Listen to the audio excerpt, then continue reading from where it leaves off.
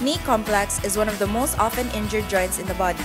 There are two major movements, knee flexion and knee extension. Our topic is knee extension. Let us begin with knee extension, arthrokinematics. Arthrokinematics during knee extension. Fixed tibia. Femur glides posteriorly and rolls anteriorly on tibia.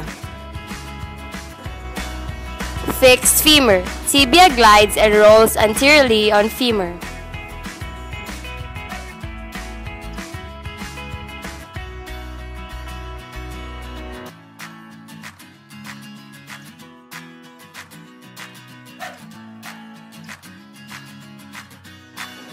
The ACL restrains anterior tibial translation and prevents hyperextension.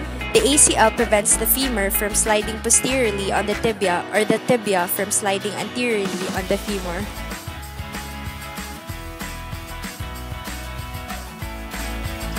Posterior cruciate ligament. It restricts posterior displacement, resists medial rotation in flexed knee.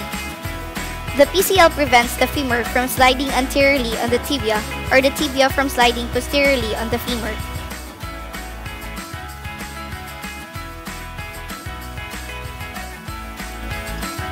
The lateral collateral ligament resists varus stress, limits anterior tibial translation, and limits excessive lateral rotation.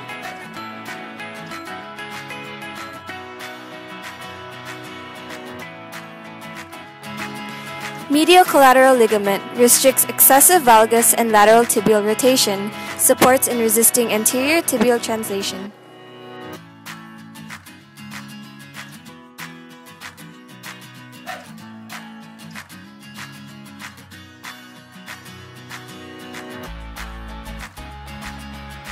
Knee extensors, vastus medialis, origin, medial lip of linea aspera of the femur and the intertrochanteric line, insertion, patella and tibial tuberosity via patellar ligament. Vastus intermedius, origin, anterior and lateral surface of the femur. Insertion, tibial tuberosity via patellar ligament.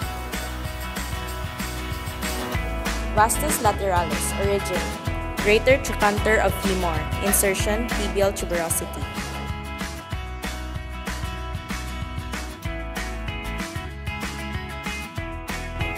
Rectus femoris, origin, anterior inferior iliac spine.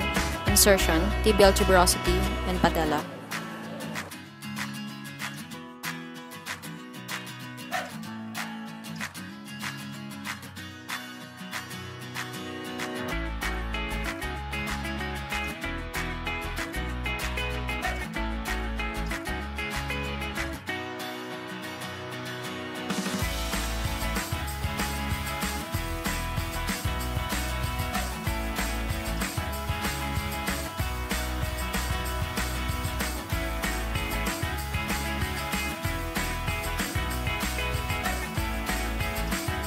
Screw home mechanism during knee extension in open kinematic chain.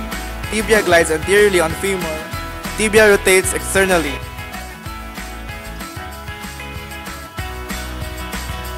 Closed kinematic chain. Femur glides posteriorly on tibia. Femur rotates internally on stable tibia.